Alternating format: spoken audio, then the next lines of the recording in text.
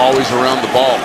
Lindley drops, steps and throws. Pass to in the end zone is going to be caught. An unbelievable catch by Michael Floyd. Tony Carter was right there. Floyd went high in the air to get it and somehow managed to hold on.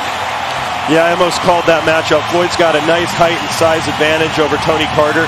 They love this guy out of Notre Dame. He's got all kinds of records that he set at Notre Dame. That's why they picked him in the first round. He's one heck of a player.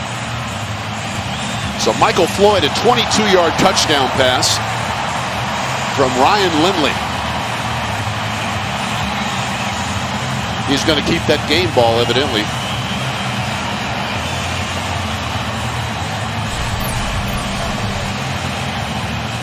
Cardinals get great pass protection.